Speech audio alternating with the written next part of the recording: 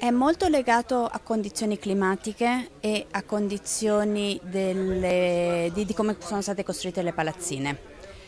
Possiamo dire che uh, in condizioni dove fa molto freddo ma anche dove, dove fa molto caldo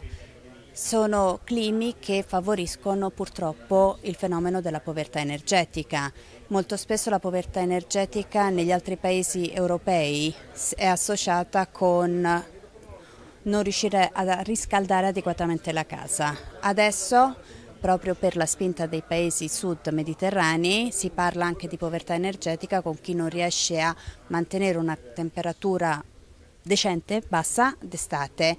eh, che vuol dire che appunto abbiamo geograficamente parlando sia le regioni del nord ma anche le regioni del sud per appunto il problema inverso del, del clima